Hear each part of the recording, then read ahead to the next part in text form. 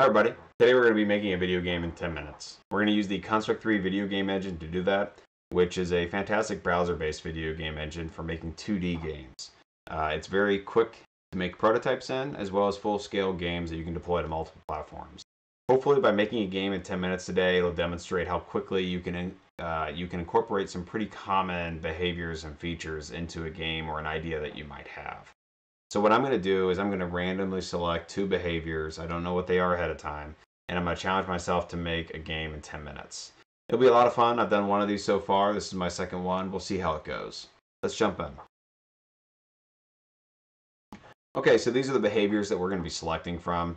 I removed some of them because they're kind of boring, but I've already implemented the majority of these into a spinning wheel that I'm going to randomly select from, and we'll see what sort of game emerges.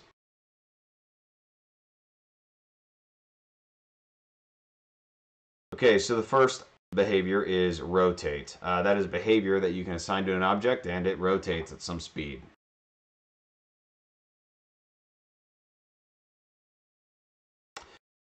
And tween. Okay, tween is a pretty flexible behavior. Tween you can use in all sorts of things. You might use it on user interface elements to almost any behavior. It's a way to do different ways of um, going between this number to that number and you can do it in a linear fashion. You can do it uh, in an overshoot and they have in and out and bounce and they have all these different you know nicely set up things that make some some cool uh, effects for how you decide to implement it. You can do it on your position you can do it on your opacity you can do it on anything you want. So okay so we've got tween and we've got rotate. I could do a tween on my rotate so i think that's probably what i'll do. All right but let's go ahead and uh, jump over to the game engine here. Let's start a new project. We're going to call this uh, uh, Roto Tween. Great name. And just before I start the clock, just be aware I'm probably going to be using assets from craftpix.net. It's a great website. I subscribe to it. I'll put a referral link down below. Great for 2D art, lots of freebies. If you subscribe to it, though, you get access to the whole site. I don't have much time for games uh, or sorry, for art making when, when I'm making my games. And it's just a blessing to be able to come in here and get a lot of high quality artwork uh, very quickly. So let's go back to the engine. All right, with that said, let's go ahead and put the time on the clock. We are going to make one epic roto tween game. All right, refresh. And let's go ahead and get started. Okay, so uh, we're first thing we're gonna do is we're gonna add sprite, of course. And you know what? Let's just draw some of our art, even though CraftPix is amazing.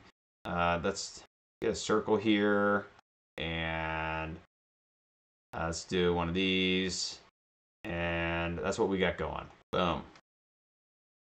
All right, so let's just call this our player. And what we're gonna do is we're gonna add the rotate behavior on this. And what this is going to do is if I just go ahead and I hit play, you will see the rotate behavior operating as intended. So that's good. Uh, that's enabled.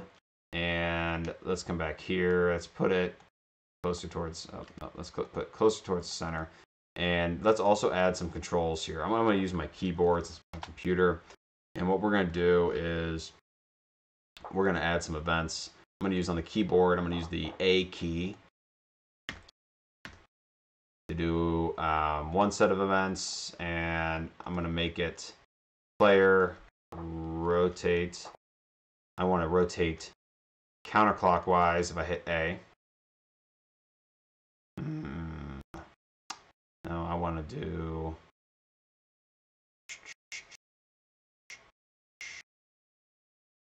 Yeah, no, that works. Okay, let's do that. Uh, number of degrees to rotate.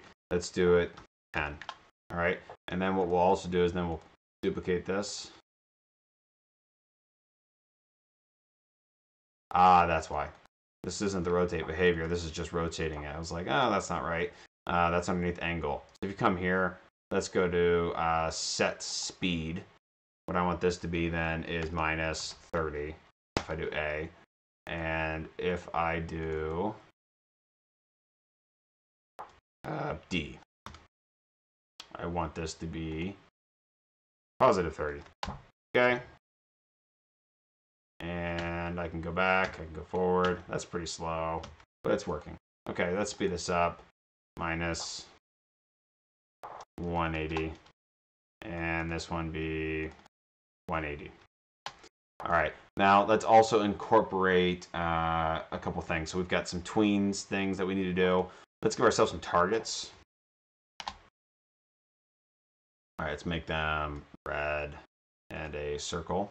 That makes sense to me. There's our target.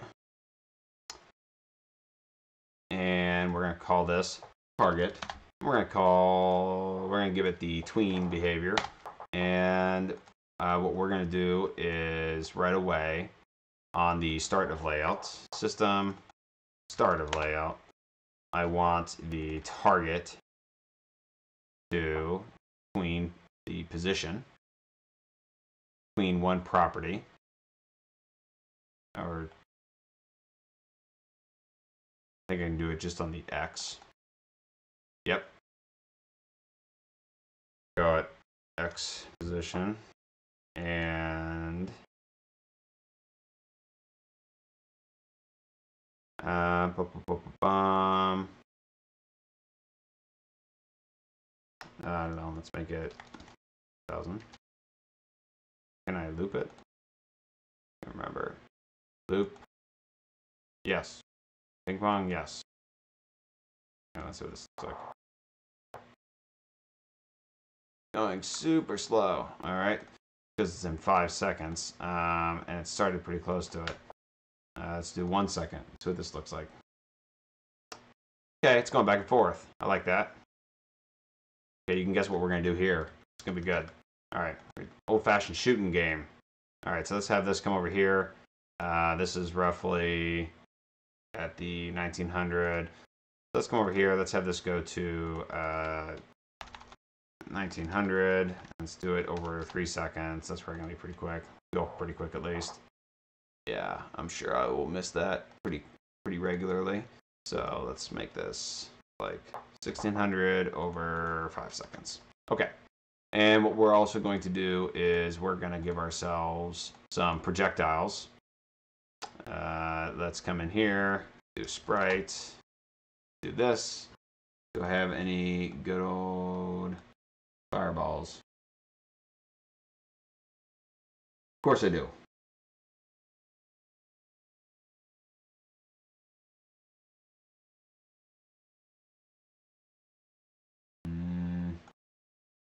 Yep, these will work.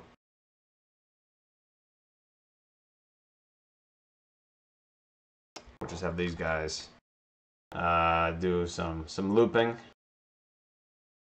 Yeah, that'll work. Pixel. Who cares? Alright. That's what's going to fire out of our glorious handmade cannon. Oh. Do that to the whole animation. I'll do it individually now since make sure that looks good. And let's add a image point here. Add a new image point to right there. Image point one. Uh, you know what, we probably won't even use that, but this is kind of shifted.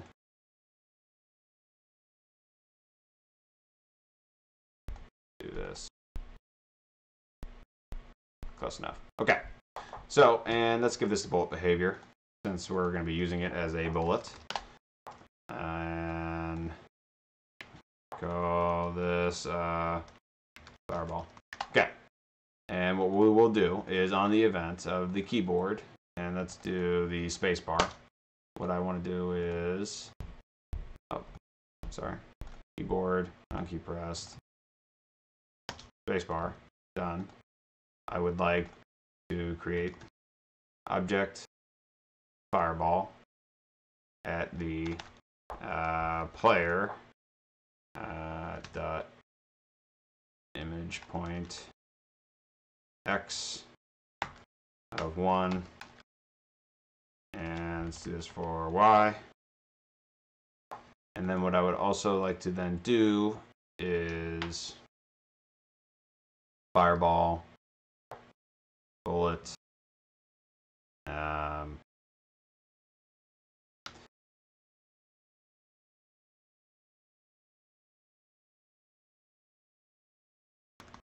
I want to set the angle of motion to be equal to the player dot uh, angle. Will probably not feel right when I first try it. We got two minutes and a half minutes. Okay. Okay, let's do this.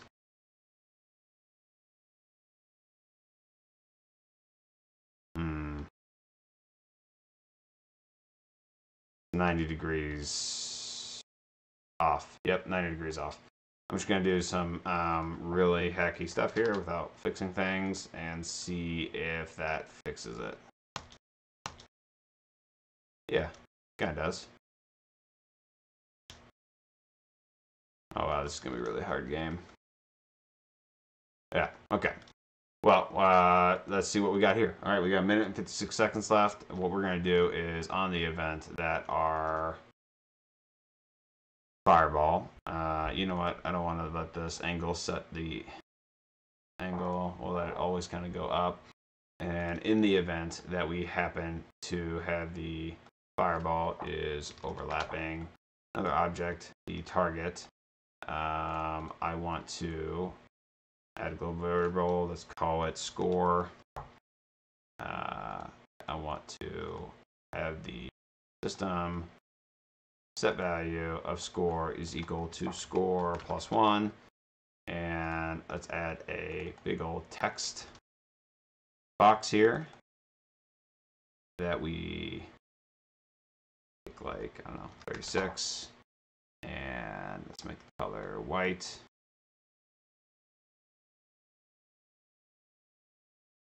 Or whatever. Uh, let's do every tick system every tick, uh, the text, the text, the score, uh, and score. Do this, should be zero. And we've kind of got a fun game. We got, you know, some uh, chaotic Oh, I got one. Oh, that was kind of funny. Okay, so it made it 32 because it was overlapping. So that was a little bit of a bug. But you know what? I think that we accomplished making our little shooter game here. And we even had nine seconds left to spare. Uh, what we should have done is on the collision rather than overlap. So we'll fix that real quick since we have just a moment. Overlapping. It should be on collision, not overlapping and then it will just be one. All right, guys, that's our game. Really hope you guys enjoy watching me create a game in 10 minutes. Uh, Construct 3 is a joy to work with. Highly encourage you go and check it out. If you liked what you saw, please subscribe. Really appreciate it. Have very few subscribers right now. I'm just doing this for fun, but you will make my day if you do subscribe. So thank you and have a nice